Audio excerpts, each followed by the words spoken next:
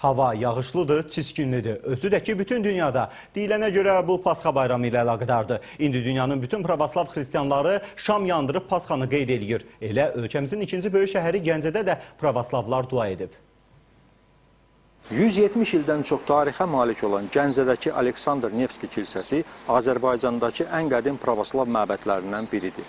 O vaxtdan bəri ruslar və digər pravoslavlar öz bayram və ayinlərini bu kilsədə keçirirlər. Aprelin 20-sindən başlayaraq mayın 7-sinə kimi davam edən Pasxa günlərinin ilk gecəsi bütün pravoslav məbədlərində olduğu kimi Gəncədəki Aleksandr Nevski kilsəsində də bu bayrama xas olan mərasim keçirilib. Gəncədə yaşayan ruslar və digər pravoslav inanclı xristianlar kilsəni ziyarət edərək bütün gecəni ibadət ediblər. Gəncə Aleksandr Nevski kilsəsinin dini heyəti İsa Peyğəmbərin dirilməsi gününə həsr olan ayinləri yerinə yetiriblər.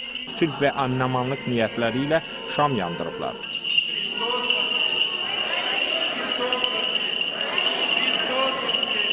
Gəncədəki Pasxa bayramına yerli xristianlarla yanaşı digər ölkələrdən gələn pravoslav inanclı qonaqlar da qatılıb. Onların içərisində ölkəmizdə keçirilən beynəlxalq tədbirlərin iştirakçıları da olub. Mən çox şadam ki, bu gün vətənimdən uzaqda olsam da, Azərbaycanda bu bayramı qeyd etmək imkanı əldə etmişəm. Burada görürəm ki, ruslar, pravoslavlar çox azad şəkildə öz ibadətlərini həyata keçirirlər. Bu, sizin ölkənizin yüksək mədəniyyətinin göstəricilərindən biridir. Kilsədə Pasxa ilə bağlı mərasim səhər saatlarına dək davam edib. Qeyd edək ki, Gəncə şəhərində 3000, Qərb regionunda isə 10 min nəfərədək rus millətindən olan ölkə vətəndaşı yaşayır.